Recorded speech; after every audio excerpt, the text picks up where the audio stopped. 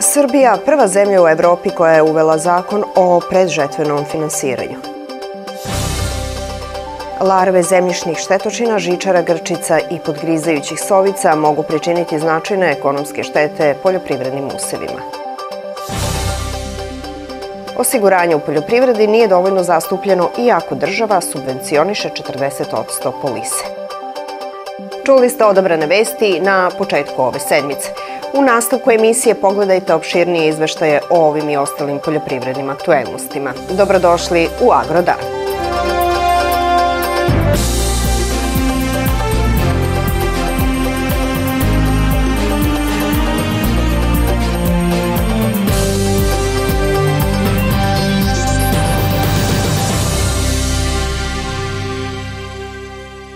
Za zaštitu njiva od svih vrsta gljiva, Bumper P i Zamir, fungicidi sa širokim spektrom dejstva protiv gljivičnih bolesti, za pšenicu i ječam bez premca, Bumper P i Zamir, jer zemlja ne može sama. Adama,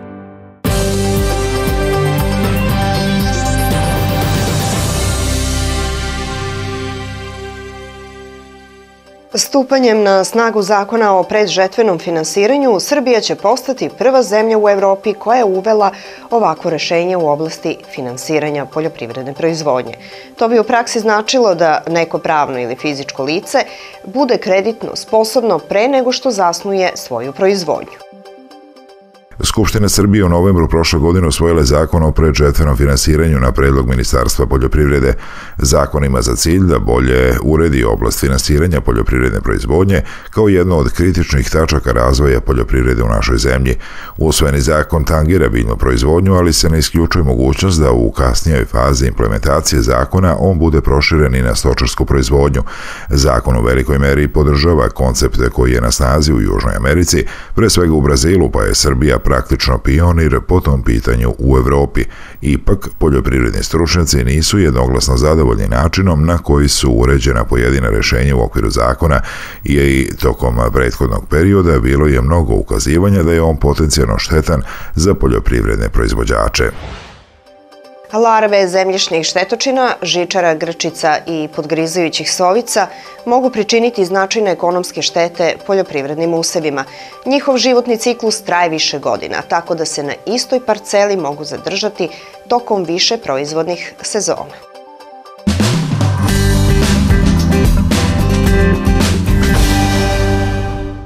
Zemljišne štetočine napadaju strna žita, okopavine i povrće i uglavnom se hrane novoformiranim korenjem mladih biljaka, kaže Tijana Miskin iz agrotima Viktorije Logistike. Da bismo osigurali optimalne sklopove i dobili povećane prinose, moramo poznavati vrste larvi zemljišnih štetočina i utvrditi na adekvatan način njihovu brojnost.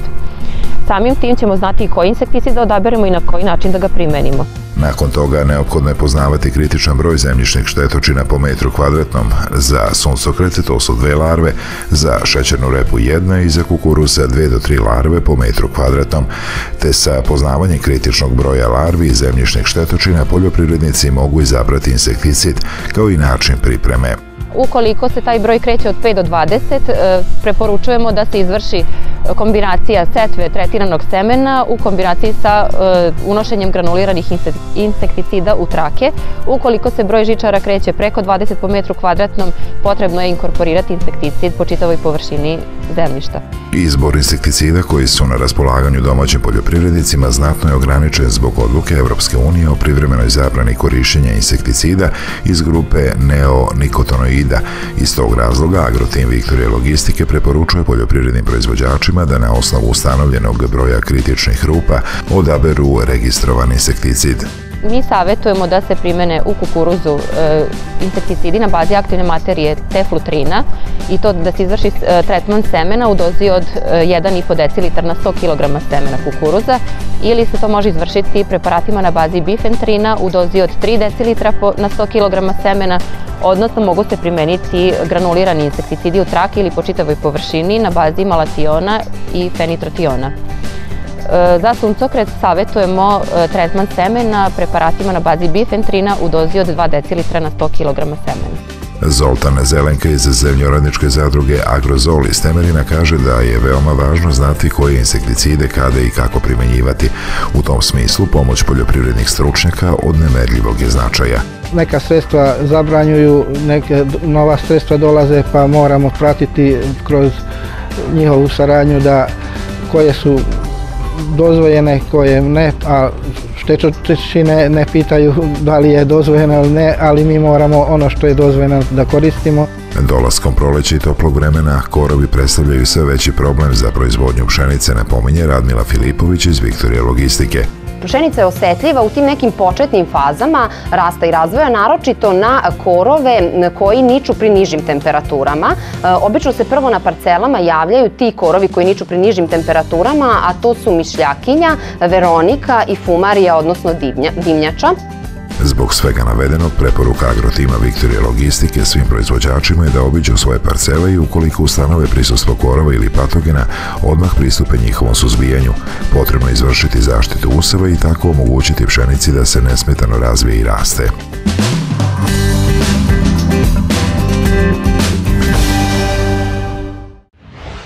Osiguranje u poljoprivredi na našim prostorima nije dovoljno zastupljeno iako ga država subvencioniše sa 40% za površine do 20 hektara obradivog zemljišta.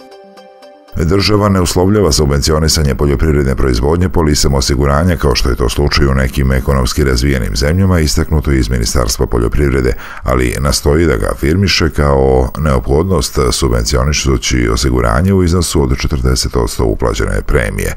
Kako bi osiguravanje poljoprivredne proizvodnje bilo prisutnije na domaćem tržištu, neophodno je da za početak budu subvencionisana osiguranja i za posede koji su veće od 20 hektara.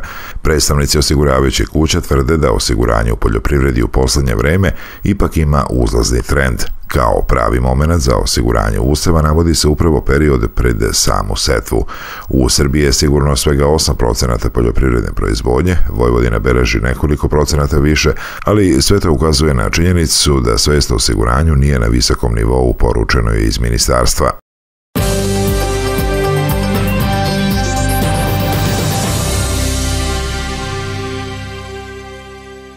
U drugom delu Agrodana saznaćete. Vlada iznela svoj predlog uzgajivačima svinja u okviru najavljenog interventnog otkupa. Pčelari u svim krajevima zemlje organizuju predavanja kako bi razmenili iskustva i znanja pred novu sezonu.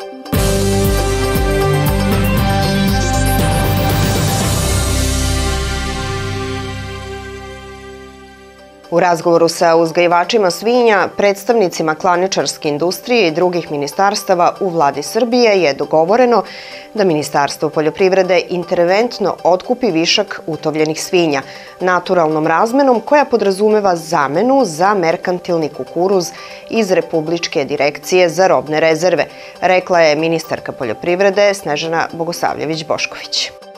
Ipak, poljoprivredni proizvođači nisu zadovoljni vladinim predlogom da se spor reši naturalnom razvonom kojom bi proizvođači za tovljenike dobili ukupno 15.000 tona merkantilnog kukuruza obezpeđenog iz republičkih rezervi.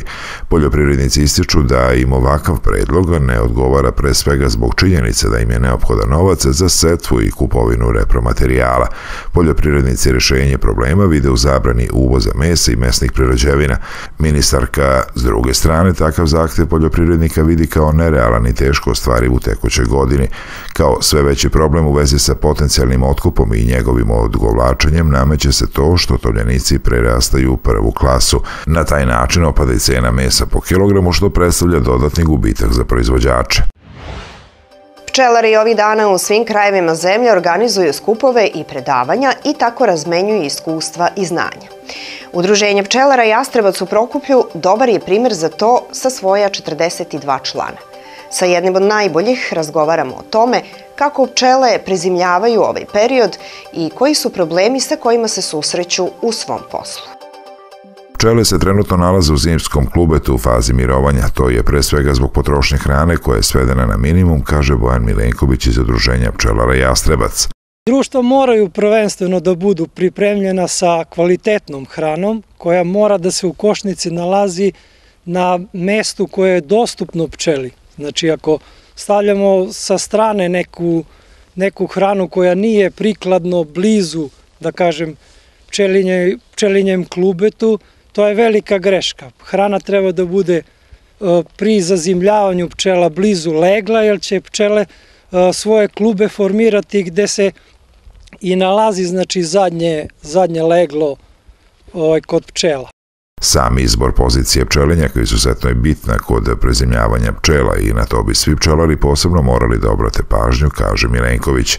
Ovde se nalazi deo mog pčelinjaka koji je sa, da kažem, sa sve četiri strane poprilično dobro zaklonjen, što je bitno ovaj, za, za zimsko prezimljavanje, znači od raznoraznih udara, vetrova i slično, jer je pčelama jako bitno da u toku zime nema nikakvog uznemiravanja. Znači, e, posao pčelara je minimalan u toku zime. Nakon zime i faze mirovanja dolazi period kada pčelari imaju znatno više posla oko svojih košnica, tako da je ovo deo godine kada se stvaraju i utvrđuju planovi. Razgovarali smo na više sastanaka koji su održani da se udruženje preoshodno proširi, da idemo na veći broj članova, da se vrši edukacija mladih koji dolaze u naše udruženje, znači da im se jednostavno pomogne ovaj, u radu na terenu, da im se pokažu neki bitni poslovi. Nakon prethodne proizvodne sezone, za koju sami pčelari kažu da je jedna od najloših u dužem nizu godina, pčelari imaju samo pozitivne očekivanja od nastupajuće sezone. Ipak ističu da mnogo toga zavisi od vremenskih prilika za koje se nadaju da neće biti nepredvidive kao prethodne godine.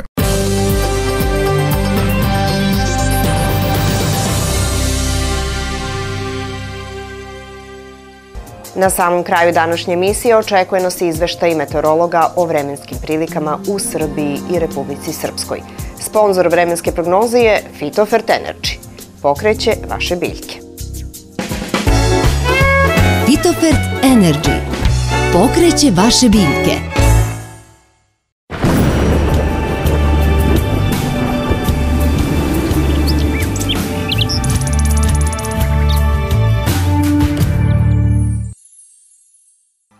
U Srbiji jutro vedro i hladno, u kotlinama i dolinama sa maglom, tokom dana sunčano i još malo toplije.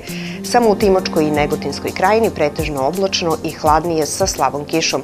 Duva slab do umeren jugoistočni vetar u Koševskom području, povremeno i na planinama jak na jugu Banata sa olujnim udarima i preko 80 km na čas. Minimalna temperatura od 1 do 7, maksimalna dnevna od 12 do 16 stepeni u Timočkoj krajini do 9 stepeni Celzijusove skale.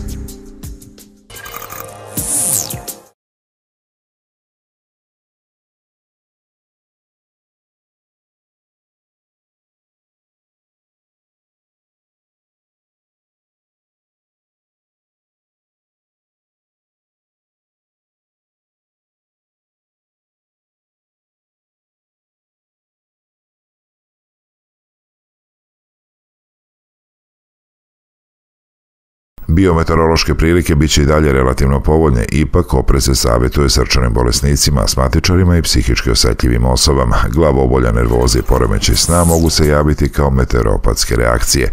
Preporučuje se umerena fizička aktivnost i slojevito odevanje u skladu sa očekivanim termičkim uslovima, a povećanje pažnje u saobraćaju.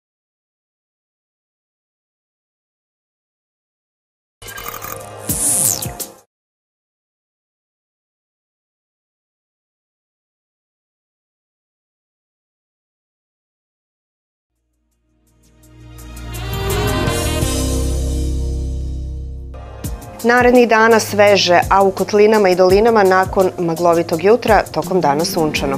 U Košavskom području i na planinama utorak duveće umeren do jak jugoistočni vetar na jugu Banata povremeno i sa olujnim udarima od sreda u slabljenju i skretanju na severozapadni. U Timočkoj krajini biće oblačno.